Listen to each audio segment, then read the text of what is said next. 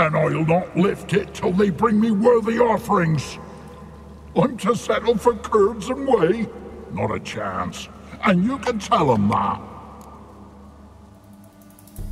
Got an idea how to resolve this. I'll just kill you. You think this is a mortal?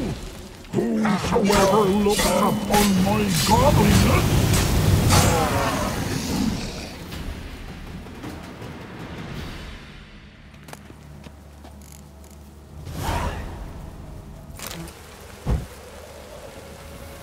Anything new? Got good news. Your god's dead. It was actually a run-of-the-mill monster, sentient but mean. Took advantage of you. You went hungry, while it grew new chins. What have you done? The old god warned us? Said if he ever departed, death would await us all? Come on, Triboar. We must tell the others. Only group prayer can save us now.